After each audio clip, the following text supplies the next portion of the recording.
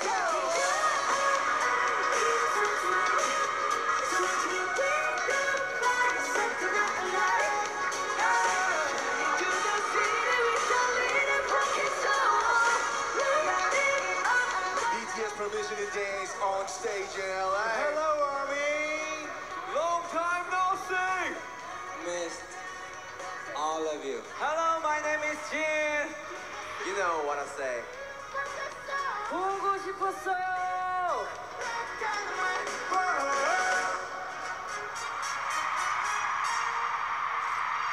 저는 저와 여러분들이 어, 이렇게 한편의 영화